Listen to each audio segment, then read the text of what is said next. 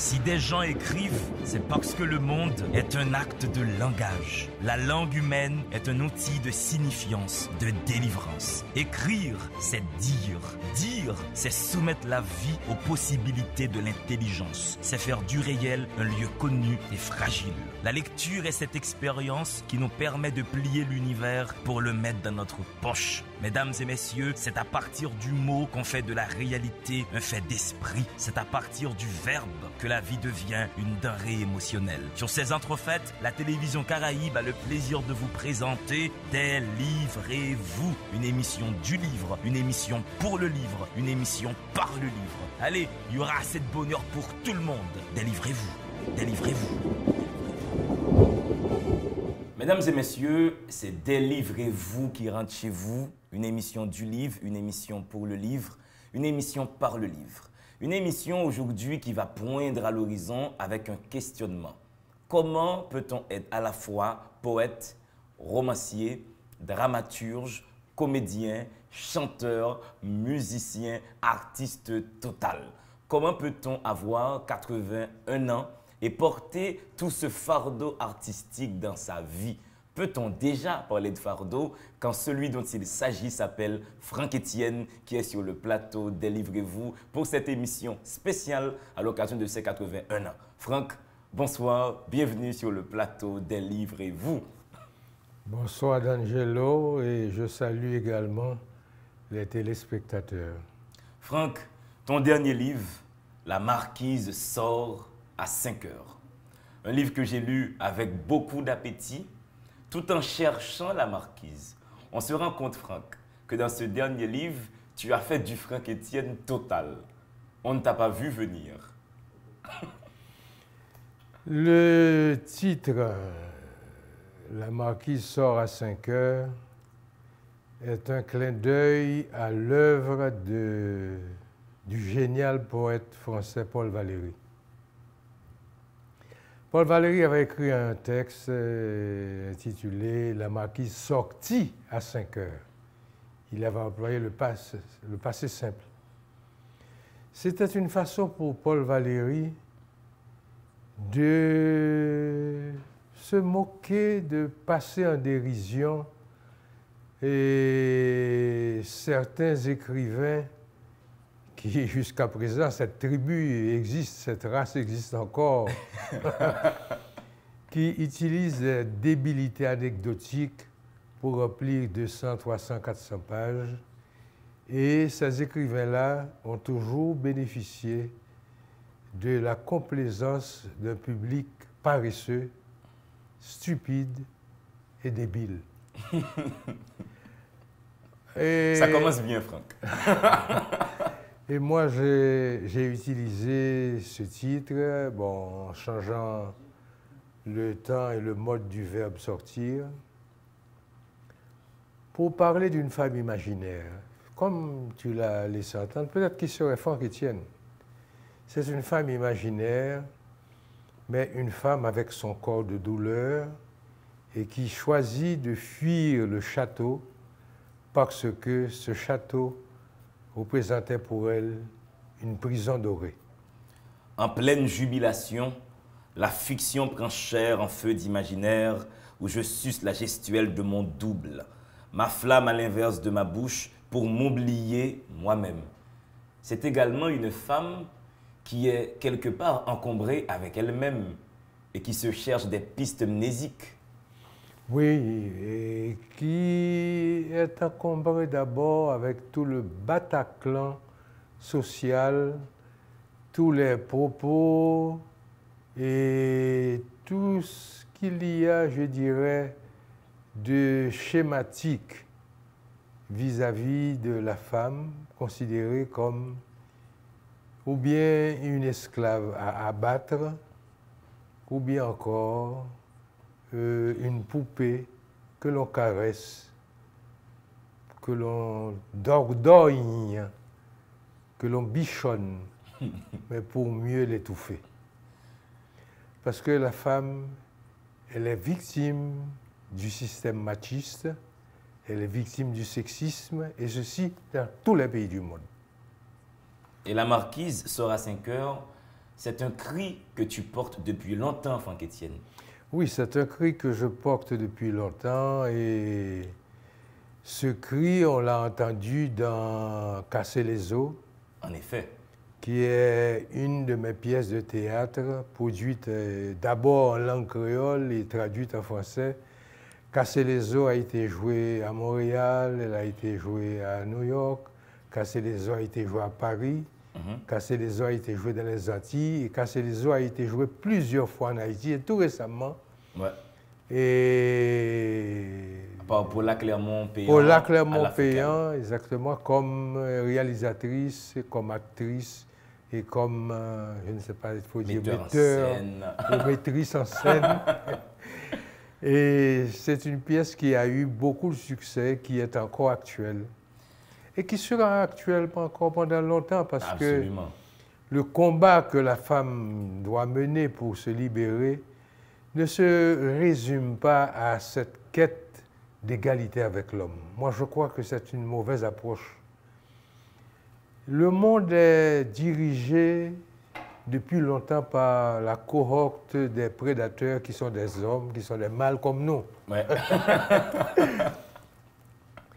Et cela a encore, et ce qui fait que notre planète marche mal parce que la gestion masculine est une gestion prédatrice, est une gestion euh, de l'inégalité, est une gestion de l'injustice. Et c'est malheureusement une gestion qui va refaire le logiciel féminin dans le sens où certaines femmes arrivent elles-mêmes à reconnaître en l'homme le chef le Tout-Puissant. C'est ce que j'appelle traditionnellement, ça fait que nous appelons l'aliénation que subit la femme. La femme est aliénée généralement. Bon, il y a des exceptions, mhm. mais qui sont très rares.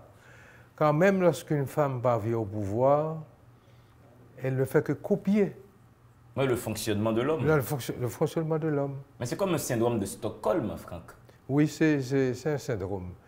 Et je crois qu'il doit y avoir une prise de conscience et globale. Ce n'est pas seulement l'inégalité, il ne s'agit pas de l'inégalité entre deux sexes, entre deux genres. Mhm. Il s'agit plutôt de toute une planète qui est en train de sombrer parce que l'approche masculine domine encore et nous conduit progressivement vers le fond de l'abîme. Je crois pourtant dans la puissance du souffle. Je dis, je redis, je dédie, je me contredis absolument, je me recontredis diaboliquement. Est-ce que la femme moderne est perdue dans ce virage-là?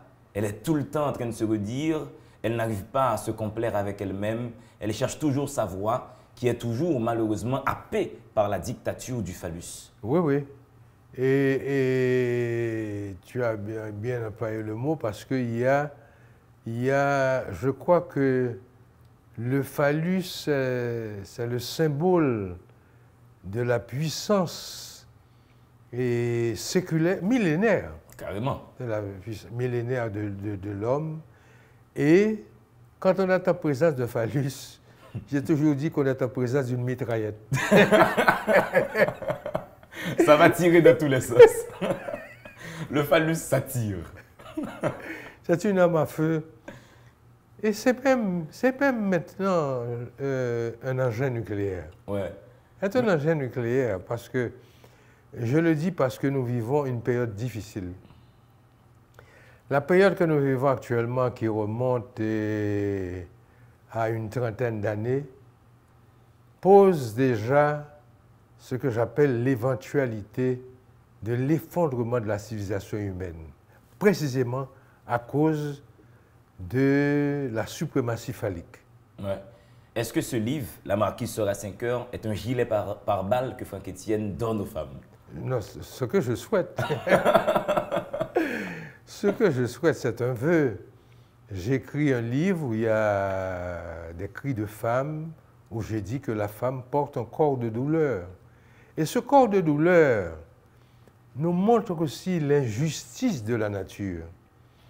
Quand on parle de la nature, on n'est pas en présence d'un corps de justice, on est en présence d'un corps d'iniquité, d'un corps de douleur.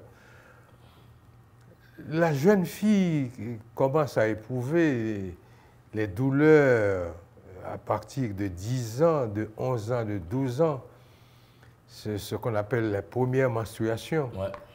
Ensuite, la femme, elle est appelée à, avoir un enfant, la grossesse, à connaître la grossesse et à donner naissance à un être humain. Et même lorsqu'elle rentre dans sa vie sexuelle, Franck, elle souffre. Évidemment. La défloration. Non, la défloration. Mais en dehors de ça, il faut constater que depuis toujours, c'est-à-dire, il faut dire depuis l'époque primitive, c'est-à-dire depuis 4, 5, 6, 10 000 années, mhm. dans les périodes de guerre, ce sont les femmes qui sont euh, considérées comme la poids. ce sont les rapes de femmes. Mhm. Les femmes sont, sont, systématiquement... Et Elles étaient données en butin de guerre. Butin de guerre. Un butin de guerre, tu vois. Et je crois qu'il y a des changements, mais il reste encore beaucoup à faire. Le chemin qui reste à faire est très long. Très long. Page 49, la marquise continue à parler. Elle dit, je demande aux prédateurs et aux gestionnaires de la mort de ne pas pleurer sur mes malheurs, de ne jamais pleurer sur mes tribulations et mes tourments. Est-ce que la marquise n'est pas en train de dénoncer l'homme féministe? Non, il ne dénonce pas l'homme féminin. Bon, bien sûr, il y a parfois un faux semblant chez certains mâles qui semblent, qui prennent position pour la défense de la femme et pourtant c'est pour régler leur crèmerie. Pour régler, bien sûr. Moi, je dis que la femme dit qu'elle n'est pas à plaindre on, peut se ranger du côté du, combat féministe, mais sans être dans, dans la lamentation, mhm. sans être dans la jérémiade.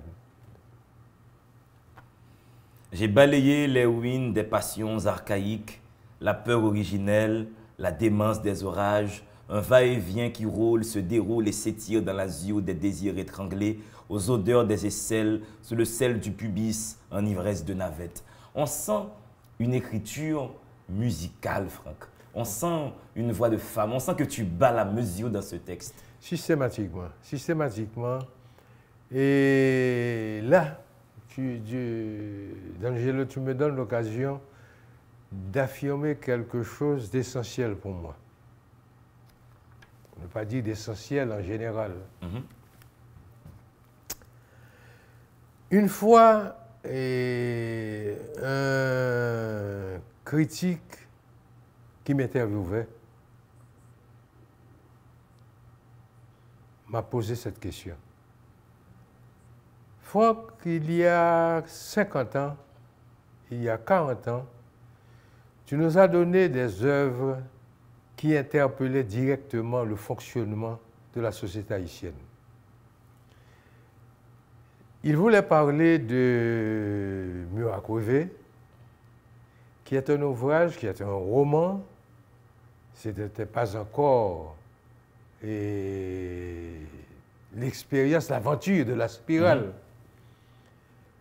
Dans Mur à crever, il y a Renan et Paulin. C'est un roman qui m'a beaucoup marqué, Franck. Je l'ai lu, j'avais 15 ans. Ça m'est resté coincé entre la gorge, là, comme ça. J'ai appelé tous mes amis, messieurs, mur à crever, mur à crever. Eh bien, ce, livre a été euh, produit dans les années 1966-1967. Mhm. C'est-à-dire... Euh, Bien avant ma naissance. non, ça fait, ça, fait, ça fait 50 ans. Ensuite, il y a eu Ultra Vocal qui entrait déjà... Oui, on sentait vraiment le oui, dans le paradigme de la spirale. On sent un début de mouvement. Un début de mouvement. Et puis il y a eu les pièces de théâtre, en particulier Pelle tête, qui est l'œuvre la plus, mon œuvre théâtrale la plus adorée, la plus aimée, chouchoutée par le public. Eh bien, dans ces œuvres, il y avait le militant qui était à l'époque membre du Parti communiste haïtien. J'avais privilégié ce que j'appelle, enfin, ce que l'on appelle l'engagement idéologique, mhm. L'engagement politique, et j'avais ressenti comme un devoir de défendre les sans-voix, de combattre la dictature de l'époque, et que l'écriture était devenue pour moi une arme fondamentale. Je ne sais pas manipuler la mitrailleuse, le fusil. Donc c'était mon arme de combat parce que je savais que je n'étais ni Castro, mhm. ni Che Guevara. Mais que j'avais la possibilité, à l'époque, d'utiliser ma plume comme un instrument de combat. Mais Franck, déjà de mieux à crever, en dehors de cette dynamique, on va dire, militaire dans la littérature, j'ai senti, moi, un souci esthétique. Moi, j'ai 15 ans, j'ai tremblé en lisant ça. Je me suis dit, mais voici un langage qui surpasse le langage commun. C'est vrai. C'est vrai. Et là, je n'ai jamais abondé dans le sens de cela qui prennent l'écriture, qui considèrent l'écriture, je ne sais pas, comme comme un joujou ou bien comme... Comme un simple canal. Un simple canal, non. Il y a, euh, pour moi, l'engagement esthétique est fondamental pour un créateur. Ouais, autant que l'engagement idéologique. Autant que l'engagement idéologique. Mais, après la chute de la dictature, quand j'ai constaté, et tout le monde fait le constat jusqu'à présent, l'effondrement les distorsions de l'engagement idéologique, et d'ailleurs est, est, évident pour tout le monde à partir de l'échec de la gauche, à tel point qu'on demande si on est en face de la gauche, si c'est une gauche tordue, distordue, ou bien si c'est droite et gauche, je ne sais pas. Une gauche caviar, allez savoir. Il y avait surtout chez moi une nouvelle, de nouvelles pulsions, de nouveaux désirs, de nouveaux rêves. Je, et jusqu'à présent, je suis dans, à l'intérieur de cette problématique de l'écriture en tant qu'instrument de quête. Saisir, essayer de saisir l'imprédictible, de saisir l'imprévisible, de flairer l'intangible. Parce que c'est l'envers des choses, c'est l'envers de la vie qui commençait à m'intéresser. Et je prenais de l'âge. Maintenant, c'est évident, lorsque je produis, que ce soit Galaxie Kaobabel, que ce soit Brèche Ardente, l'oiseau schizophone, l'oiseau schizophone, et les métamorphoses de la schizophone, je suis dans un voyage mystique. Je, suis je ne dis pas religieux. Mhm. Je suis dans un voyage philosophique, je suis dans un voyage métaphysique où j'essaie, j'ai bien dit, j'essaie de, sinon de saisir, mais de sentir, de flairer ce qui se passe de l'autre côté de la vie, à l'envers de la vie, à l'envers du visible. Mesdames et messieurs, Franck Etienne sur le plateau Délivrez-vous, qui écrit pour aller à l'envers du visible. Une quête spirituelle, métaphysique, esthétique, le temps de votre première respiration.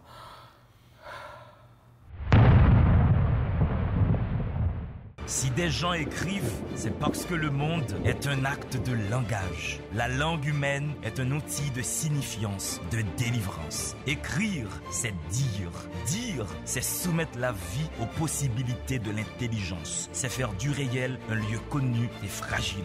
La lecture est cette expérience qui nous permet de plier l'univers pour le mettre dans notre poche Mesdames et messieurs, c'est à partir du mot qu'on fait de la réalité un fait d'esprit. C'est à partir du verbe que la vie devient une denrée émotionnelle. Sur ces entrefaites, la télévision Caraïbe a le plaisir de vous présenter Délivrez-vous, une émission du livre, une émission pour le livre, une émission par le livre. Allez, il y aura assez de bonheur pour tout le monde. Délivrez-vous, délivrez-vous. Mesdames et messieurs, vous êtes toujours sur le plateau Délivrez-vous avec nous où nous avons le trésor national vivant, le Franck Étienne que nous aimons tous. Le Franck Étienne qui est plus que jamais en forme. Comme on tend à le dire maintenant en français, il pète la forme. Franck, moi j'aime beaucoup cette notion d'envers du visible. Ça fait quelques années que tu es dans cette quête. Dis-nous jusqu'à présent ce que tu as pu palper à l'envers du visible. Cette quête, elle a commencé vraiment autour des années 75-80, quand j'ai lié connaissance avec les astrophysiciens.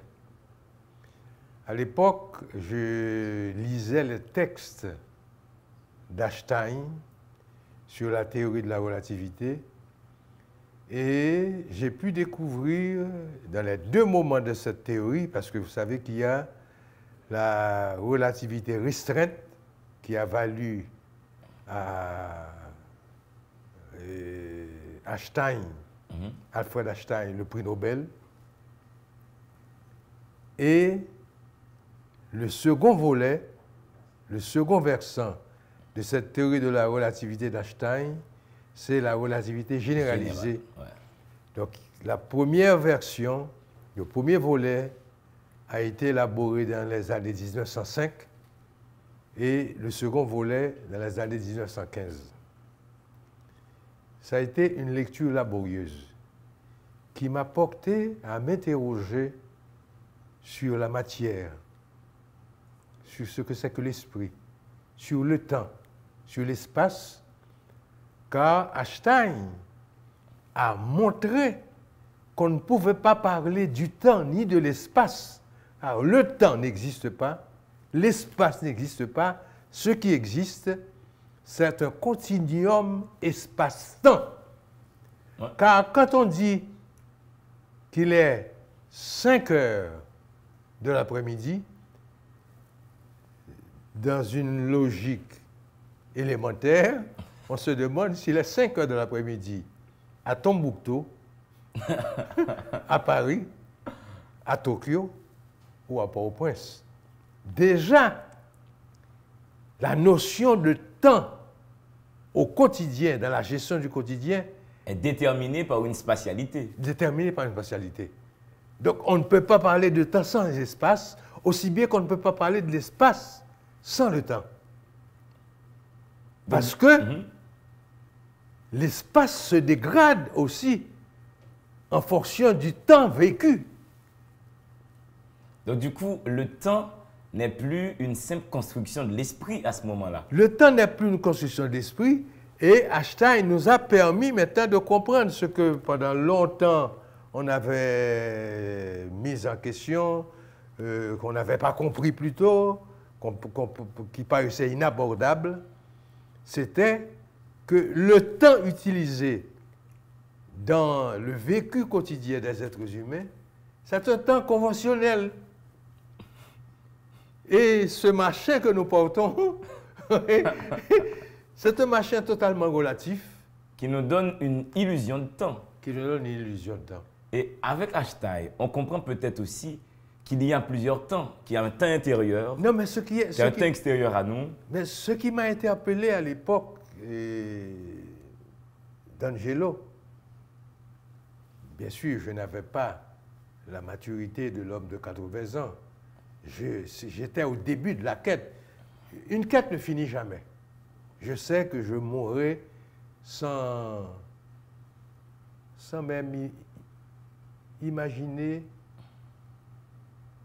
l'incommensurabilité de l'univers je ne peux pas imaginer ce que c'est que l'univers parce que tout récemment on en a parlé mhm. avec des, des- des amis communs. Les, les Big Bang, on parle de Big Bang, mais nous, mais moi, je dis qu'il y a des Big Bang, qu'il y a toujours eu des Big Bang et qu'on aura toujours d'autres Big Bang L'univers est en perpétuelle recréation de lui-même. de lui-même. Et alors, pour te dire qu'à l'époque, au début de cette quête spirituelle, qui est aussi en même temps une quête globale, c'est une quête scientifique, c'est une quête aussi de moi-même, Et humaniste aussi. humaniste. Nous sommes ici dans le champ, euh, je dirais, de la vision holistique, c'est-à-dire globale de l'univers. Ce qui m'a frappé, c'était la notion de le voyage de Langevin.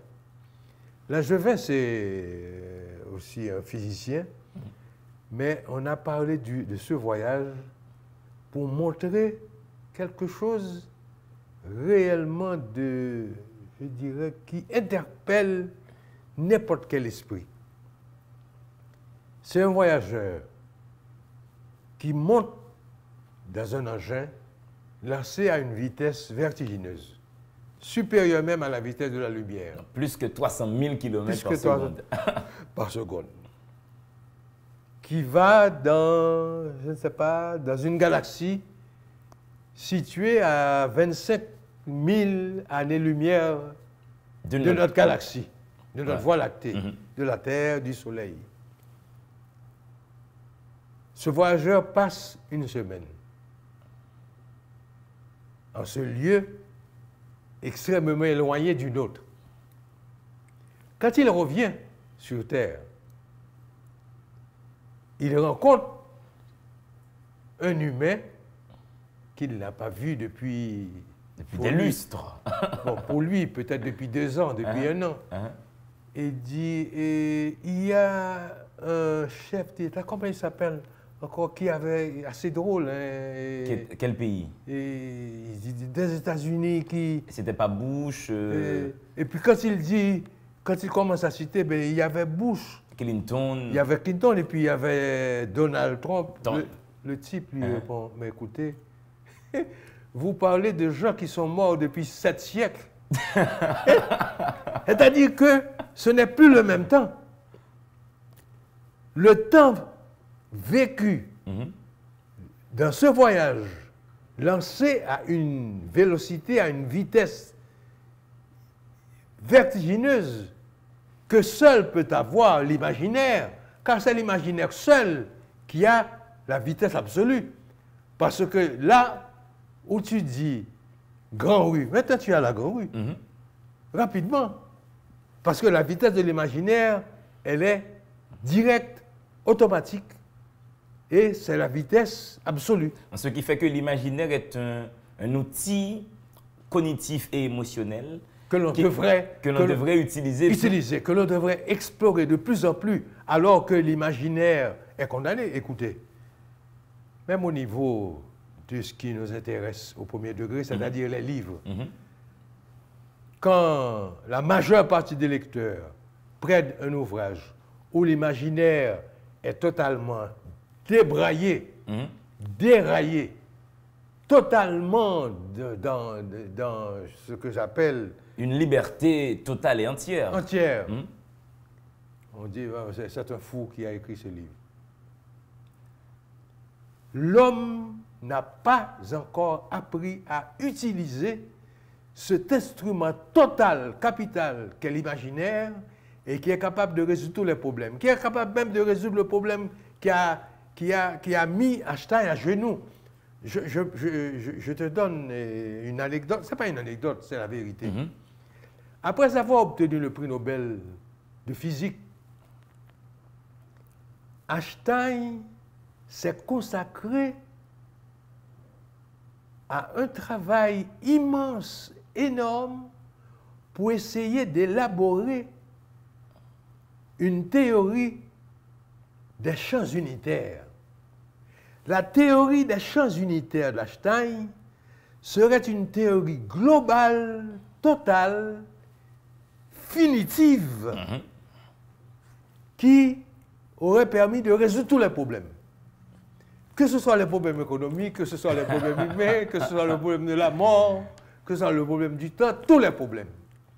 C'est-à-dire que c'est les champs unitaires, c'est la gravitation, c'est La force électromagnétique. la force électromagnétique, c'est les forces à intensité faible et les forces à intensité forte et moyenne. Einstein a passé tout le reste de sa vie sans avoir rien trouvé d'autre que sa théorie de la relativité. Il a été tellement obsédé par la théorie des champs unitaires qu'il a passé tout le reste de sa vie, de sa vie sans avoir rien apporté de nouveau à la théorie de la relativité qui était déjà Ouais. extraordinaire. Et entre-temps, les élèves et les compagnons, mais surtout ses élèves, ses, ses disciples, c'est le- Ouais. les disciples c'est-à-dire les Niels Bohr, les Max Planck, se sont attelés eux-mêmes à travailler sur le- les quantas, Ouais. c'est-à-dire les particules élémentaires. Et, et ils allaient être des prix Nobel Ouais, quelques temps après. quelque temps après. Donc, ils ont pu élaborer la théorie des quantas, Mhm. trou- qui, la théorie des quantas qui a ouvert un champ immense à la connaissance humaine, à la philosophie.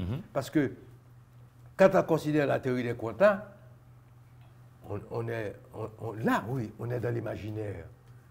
Parce que la théorie des quantas te dit, Oui, c'est ce que j'allais te demander. Pour un jeune qui regarde et qui ne sait pas ce que c'est. Eh bien, la- la- le, le quantum, c'est les particules élémentaires, qui est dans tout, qui est chez nous, qui est dans le grain de sable, qui est dans toutes les structures, que ce soit les mégastructures, que ce soit les structures minimales. Ce qui fait que c'est médiocre de penser qu'il y aurait des objets inertes. Il n'y a pas d'objet inerte. Donc les livres sont des objets le- vivants. la- mais le papier, le papier, les signes. Ah, je vais plus loin.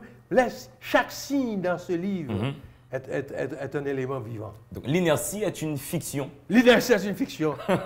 L'immobilité est une fiction. Nous sommes toujours dans le mouvement. Nous sommes toujours dans le mouvement Et dans l'énergie, Franck. et dans l'énergie. Et dans l'énergie. Et comme nous ne pouvons pas cerner toute, euh, je dirais, la pluridimensionnalité infinie, n'est-ce pas, de chaque chose, de ces quanta, des êtres vivants, des phénomènes vitaux, eh bien, à ce moment-là, qu'est-ce que nous faisons? Nous nous disons que c'est le rien qui existe. Ça, c'est une fuite en avant. Ah, c'est-à-dire que nous entrons en plein cœur du paradoxe fondamental qui constitue la vie, car il n'y a pas de vie sans paradoxe. L'ici et le lointain, c'est la même chose. L'ici et l'ailleurs, c'est la même chose. C'est une question de regard et de C'est une question de perspective. regard. C'est une question de regard. Le noir et le blanc Sont les mêmes sont les mêmes parce que, que si on disait qu'il y a une fragmentation, une séparation, une rupture entre le noir et le On blanc, trouverait les mêmes particules élémentaires éventuellement. éventuellement. et ensuite, que ferait-on des, des nuances intermédiaires, Oui. des particules intermédiaires entre le noir et le blanc Ce qui fait que nos procédés de distinction sont des constructions sociales. Ce sont des constructions, oui, des constructions sociales. Ouais. Ce sont des constructions sociales, mais d'abord des constructions intellectuelles faussées à la base. Ouais.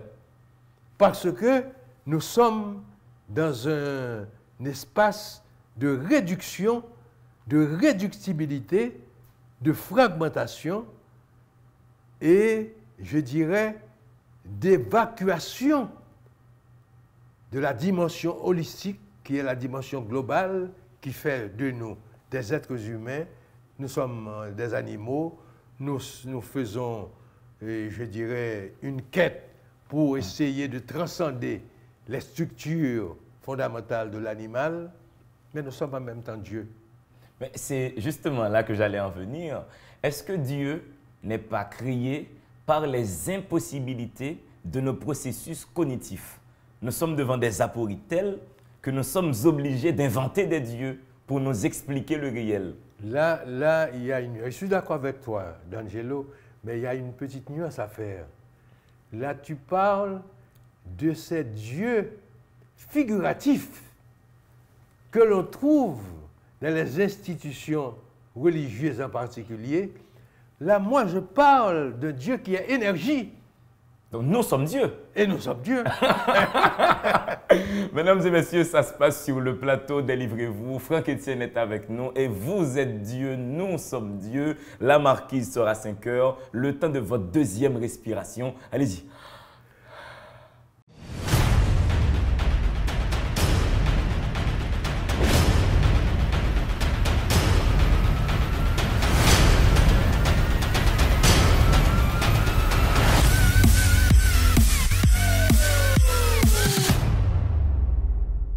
Plusieurs reprises, j'ai passé des nuits entières dans la bibliothèque du château à lire, toute seule, en l'absence du marquis, parti vers les Antilles.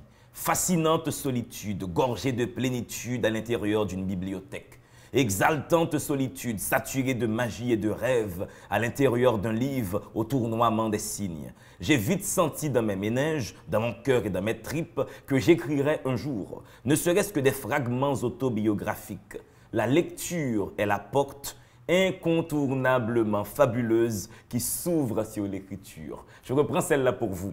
La lecture est la porte incontournablement fabuleuse qui s'ouvre sur l'écriture.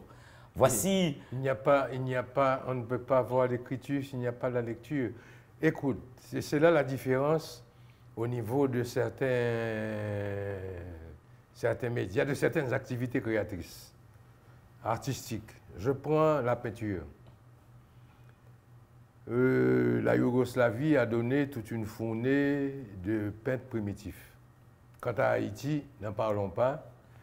Cela a interpellé le, le, monde entier et il y a même beaucoup, beaucoup de, disons, de chercheurs Mhm.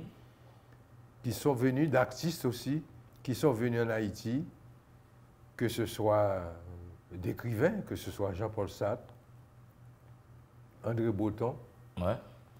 Aimé Césaire, beaucoup d'autres sont venus ici et Jean-Marie Drault a été un spécialiste de la peinture primitive. Ils ont découvert le merveilleux, le fantastique de la peinture primitive.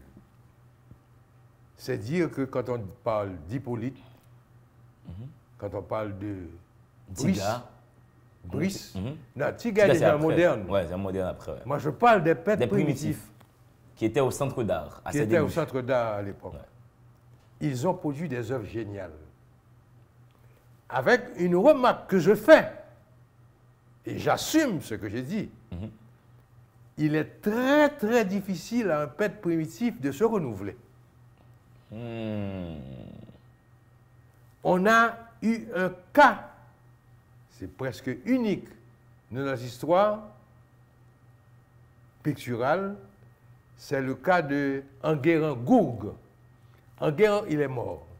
Enguerrand Gourgue a été un peintre primitif pendant une bonne quinzaine d'années.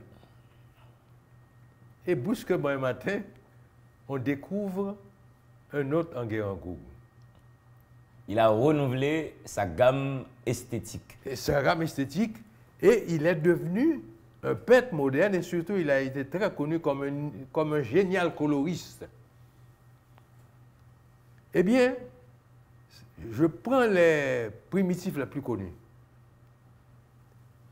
La majeure partie d'entre eux ont été des prêtres vaudous. Et il y en a même, il y en a beaucoup, entre guillemets, je dis ce mot que j'aime pas. Ils étaient des illettrés, des analphabètes, Mhm. parce que ça ne veut pas dire qu'ils n'étaient pas cultivés. Ah oui, Parce que la, culture- nuance est importante. Ah, la nuance est importante. la nuance est importante. Parce que euh, quelqu'un peut être analphabète, c'est-à-dire il n'a pas lu racine, Ouais, il ne peut pas décrypter des lettres, Les- les- les- les mais lettres il n'en demeure pas moins qu'il puisse être cultivé. cultivé. Ouais. Eh bien, on a trouvé souvent dans le domaine de la peinture, dans le domaine de la sculpture, dans le domaine, même dans le domaine de la musique, des créateurs qui n'ont pas fréquenté d'instituts, qui n'ont pas fréquenté d'écoles, de lieux académiques, et qui ont pu produire des œuvres géniales. Cela était possible dans le domaine de la littérature. Vous devez quand même passer par la lecture. C'est la porte. Donc on ne peut pas s'improviser artiste de la plume. Euh, Moi, j'entends des gens parfois, euh, ça, ça me fait, ça me fait souffrir d'entendre des gens, entre guillemets, soi-disant cultivés, parler de poètes primitifs, d'écriture primitive. On, on a- on ne peut pas avoir ce que j'appelle cette virginité primitive dans le domaine de l'écriture. Sinon, on est un usurpateur, Franck. Non, non, écoutez. Tout ce qui est fondamental dans le domaine de la littérature, c'est l'intertextualité. Tu ne peux pas produire un poème si tu n'as pas lu d'autres poètes. Si tu n'as pas, si- si tu n'as pas lu Verlaine, si tu n'as pas lu Rimbaud, si tu n'as pas lu Jacques Roumain, On ou ne peut pas écrire sans mémoire littéraire. on ne peut pas écrire ça mémoire littéraire. Aliénation, dépossession, prédation, corruption, inégalité, violence et terreur exterminatrice. C'est Haïti, Franck, que tu donnes à voir là C'est Haïti, d'Angelo, et actuellement, c'est toute notre planète. Quand on voit ce qui se passe au Proche-Orient, au Moyen-Orient, au Yémen, en Syrie, dans les pays d'Afrique, dans certains pays d'Afrique, Aux États-Unis avec Trump aux, aux États-Unis. et peut-être Marine Le Pen en France. Ah, On ne sait pas. on ne sait pas. On ne sait pas. Donc, on se dit que la culture de la violence dominante et dangereuse. Cette culture peut bien conduire à la destruction de la civilisation humaine et, ça aurait été une apocalypse nouvelle, l'apocalypse dont on parle, parce qu'on a eu déjà d'autres apocalypses. L'apocalypse de l'homme de Néandertal, l'homme de Néandertal a disparu après une période de glaciation. Ouais. Il n'a eu- pas pu résister, il n'a pas avait les outils et la technologie pour tenir. Il y a eu aussi l'apocalypse des, Des dinosaures. dinosaures. Les dinosaures ont été totalement éliminés, anéantis par l'impact d'une météorite qui a heurté la Terre du côté du Mexique. Mais là, c'est dangereux et c'est douloureux. Nous sommes devenus les auteurs de notre propre destruction éventuelle. Ce qui se passe actuellement, non seulement dans tous les continents, mais dans un petit pays. Haïti, quelque part, a toujours fait les grandes premières. Ouais. Écoutez, nous avons ouvert la porte toute grande au grand vent de la liberté et à, à tous les peuples noirs, à tous les. Non, ça- au monde entier. au monde entier, à Au l'Amérique latine, une Ah, belle leçon de Au civilisation. monde entier. Mais voilà que, depuis quelque temps, nous creusons notre tombe. Et c'est maintenant que les autres le font. nous avons toujours été les initiateurs des événements majeurs. Oui. Et même en littérature, château, prison femme, château, zombification femme, château, souffrance femme. On sent que tu composes une chimie, tu mets en contact des molécules. Tu es créateur, Franck, écrivain, tu travailles avec du langage face à la destruction du monde. Que peut le langage, Franck Étienne Est-ce que le langage a échoué? Est-ce pour cela que nous sommes dans cette impasse dans le monde Je, je, je, je vais répondre en deux temps. Premièrement, il y a eu euh, une dégradation du, du langage à partir de ce que j'appelle la paresse répétitive que l'on a trouvée chez certains créateurs et qui sont devenus malheureusement majoritaires à cause aussi de la paresse du public qui est là, qui les accueille. Donc les paresses se sont donné la main. Elles se sont agglutinées. à ce moment-là, je me suis posé cette question. C'est quoi le langage C'est quoi la création au niveau du langage Et c'est alors que la spirale que je n'ai pas créée, car personne n'a créé la spirale, aussi bien que personne n'a créé la dialectique. Mais tu le dis, c'est le mouvement de la vie. C'est le mouvement de la vie, comme la dialectique aussi. Comme la dialectique est le fonctionnement de la vie. Je, te donne un exemple, deux exemples. Et puis après, je retourne mhm. à la spirale. Deux exemples. Un exemple historique. Au moment de la guerre du Vietnam, dans les années 60-70, l'armée américaine avait la cruelle tactique, stratégie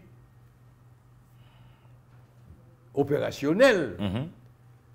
de larguer des tonnes de napalm, qui est un gaz explosif et brûlant, et corrosif, mhm.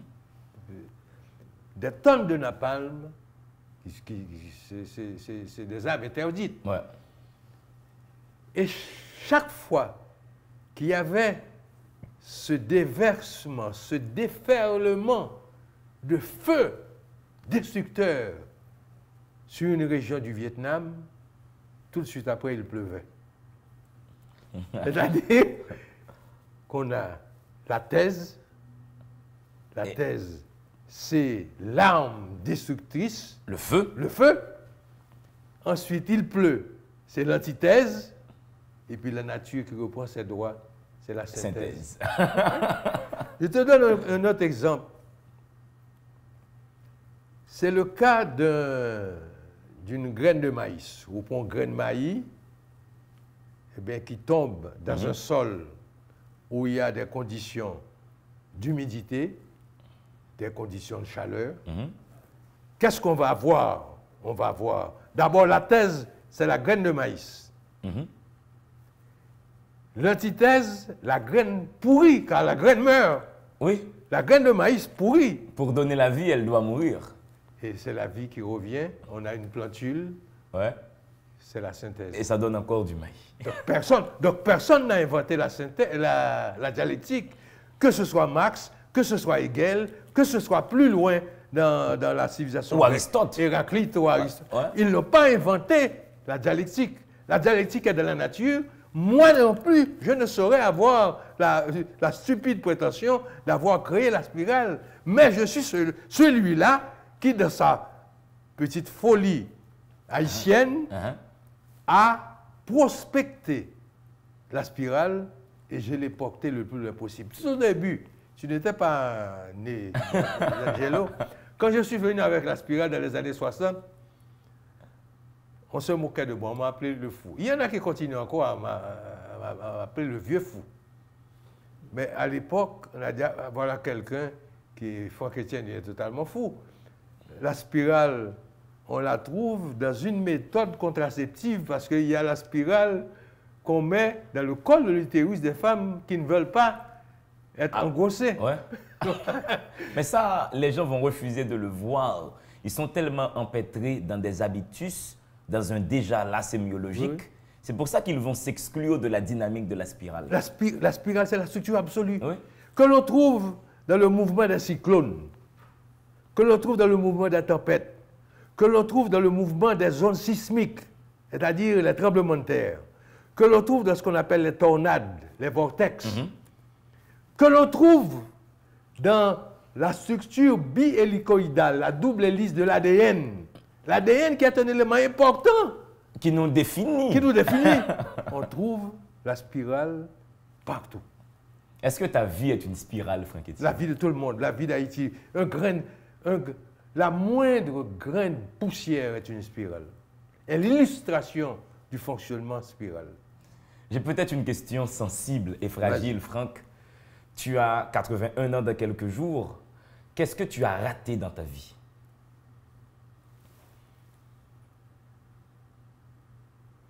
J'ai raté l'œuvre absolue.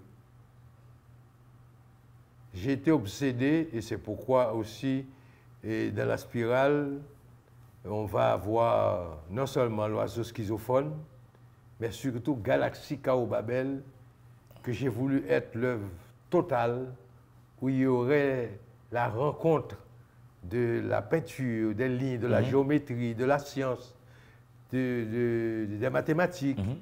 de la littérature. Mais sauf quand on lit le texte, il est difficile à un créateur littéraire de faire entrer la musique sur le plan concret dans un texte, sauf quand on lit. Ouais. J'aurais, j'aurais aimé regarder un livre et dire Et entendre la musique Peut-être la musique. Mais lorsqu'on te lit, Franck Etienne, est-ce qu'on doit chercher à te comprendre? Est-ce qu'on doit chercher à te toucher? Est-ce qu'on doit chercher à te vivre? Est-ce qu'on doit chercher à être éternel avec toi? Tout est dans l'éternité déjà. Là, Mhm. je te le dis, tout est dans l'éternité. L'éternité est partout. L'éternité est déjà là. Nous n'avons que des mutations. La mort n'existe pas.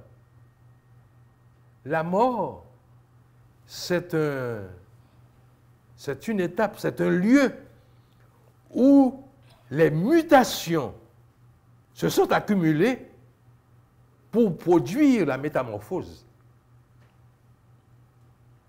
Mais la mort, elle prend quand même notre conscience du monde. La mort, non, la mort nous a envahis. le sentiment de la mort nous a envahis, le- le- l'esprit de la mort, le mot, le parfum de la mort, et c'est pourquoi nous sommes pollués par cette saloperie qu'on a dénommée la mort. Mais il n'y a pas longtemps, Franck, chez toi, tu m'as quand même dit, c'était une confidence, mais bon, ça va rester confidence entre nous sur le plateau Délivrez-vous. Non, non, il y a enfin, qu'Étienne, il n'y a pas de confidence. Est-ce Moi, que, moi, moi, ma vie, elle est ouverte. est-ce que tu comptes vraiment Pas tirer que- ton chapeau dans moins de 5 ans? Premièrement, je suis bien content que tu aies fait allusion à ça. Beaucoup de, de gens, d'interlocuteurs ont mal compris mon approche, Ouais. ont mal compris ma dé- Ils ont dit Franck a programmé sa mort, Franck sait quand il va mourir. Écoutez, je n'ai pas programmé ma mort de manière mathématique, mécanique, et comme si Franck Etienne partirait de ce monde le 14 juillet de l'année 2075. 2002. Oh non Non, mais c'est ce que je souhaite. Bon, non. Mais il y a d'abord un vœu, et c'est ça. Le vœu, le rêve, le désir, la pulsion. Moi, je crois que dans le créole, on trouve un mot qu'on appelle saint-poussé. Et on dit, l'homme, gars, saint-poussé d'elle, c'est une pulsion de mort. eh bien, il y a, il y a la pulsion, il y a le rêve, il y a le vœu, il y a le désir que je n'aille pas au-delà de 85 ans. C'est pas la crainte des problèmes et des épreuves qui accompagnent la vieillesse. Car je maintiens ce que De Gaulle avait dit un jour, la vieillesse est, un naufrage. C'est vrai. Alors, même si on peut ajouter à côté, c'est un naufrage, c'est vrai, mais l'expérience, les- la virtuosité du capitaine compte aussi. non pas pour éviter la mort, Mais pour rester en forme dans le lieu de la vieillesse. non, traverser les récifs. Mais toi, tu es en forme, Franck. Tu as pris les escaliers de la radio très facilement. Tu fais du sport. Est-ce que c'est l'amour qui te garde en vie? L'énergie vitale qui est partout. Je soigne cette énergie. Je parle à cette énergie à travers mes particules élémentaires. Je crois que l'être humain, et cela, on aurait, on aurait dû l'utiliser comme méthode didactique, comme méthode d'enseignement, comme méthode d'éducation dès la troisième, quatrième année de, nos enfants. Apprendre à nos enfants. Parce que nous aussi, nous ne le faisons pas. Nous ne le faisons pas. Donc, raisonne plus maintenant pour le faire avec nous-mêmes et le faire d'abord avec nos enfants pour qu'ils ne soient pas dans le même embarras que nous.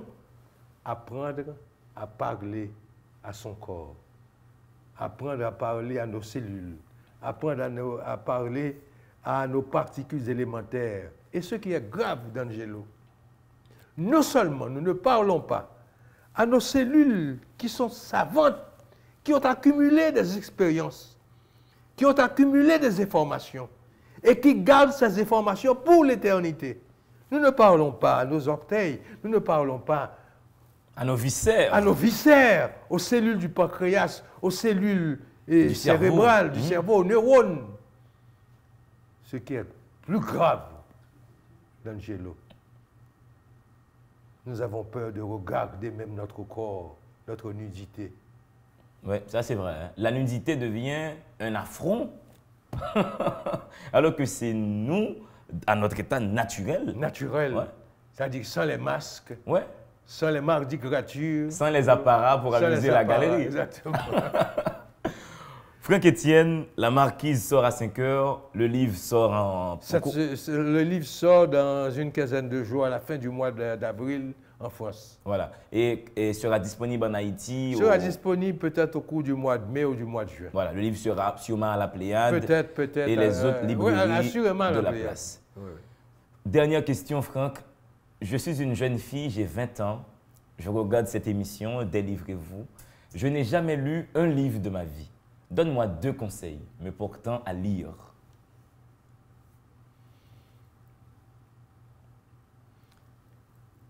Premièrement, je ne dis pas qu'il faille lire Franck Etienne.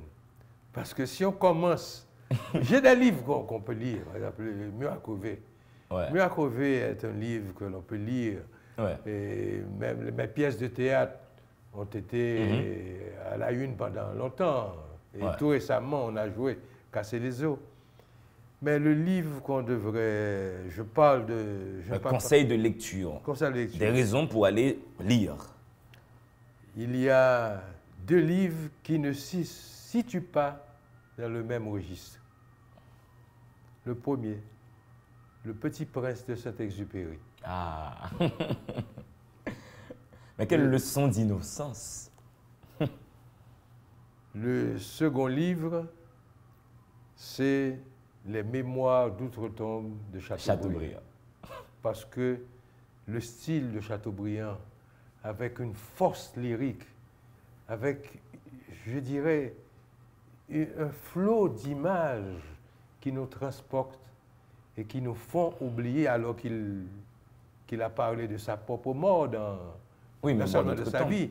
Mais Mémoire d'outre-tombe, c'est Mémoire qui devrait dû paraître après sa mort. Absolument. C'est un livre qui nous fait goûter le sel de la vie. Mais j'ajouterai quand même, tu me fais cette complaisance. Oui. Je souhaiterais qu'on lise vraiment Désafi, qui est le premier roman de la langue créole haïtienne. Oui. Une leçon esthétique aussi dans ce premier roman écrit en créole. Donc il est possible de faire de la littérature avec cette langue-là. Toutes ah les langues sont capables de littérature. Évidemment. Merci Franck Etienne. Merci. Merci. Mesdames et messieurs, une émission anthologique, une émission que beaucoup attendaient, beaucoup me disaient, mais quand est-ce que tu reçois Franck? J'ai toujours dit, attendez, il va faire un livre on va faire cette émission autour de son livre La Marquise sort à 5 heures, un livre que nous vous recommandons avec appétit. Continuez toujours à lire, à charbonner votre intelligence. Dans le monde, il doit y avoir deux êtres, des livres et vous.